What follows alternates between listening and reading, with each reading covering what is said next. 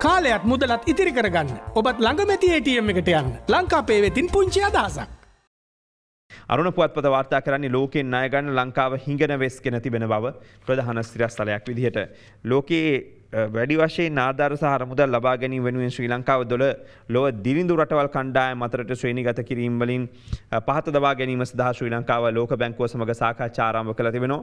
ලෝක බැංකුවේ පහළ කණ්ඩායම් වල වර්ගීකරණය අතර රටවලට අන්තර්ජාතික ප්‍රජාවති නාධාර මෙන්ම අඩු පොලි අනුපාතය යටතේ වැඩි මූල්‍ය ප්‍රදාන ලබා ගැනීමේ හැකියාව තිබෙනවා.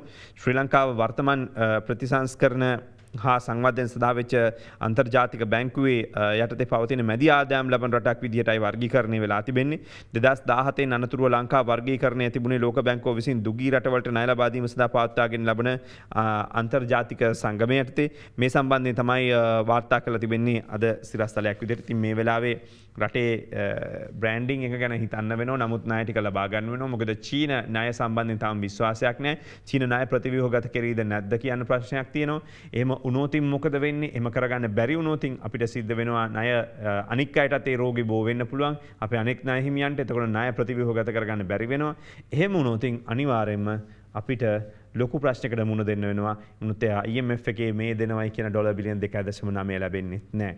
ඉතින් මේ සම්බන්ධය සාකච්ඡා ගොඩ නගාගන්න මේ සාකච්ඡාවේ සාර්ථකත්වයට යන්න අනිවාරයෙන් ලොකු අභියෝගයක් වන රනිල් වික්‍රමසිංහ ප්‍රමුඛ රජයට.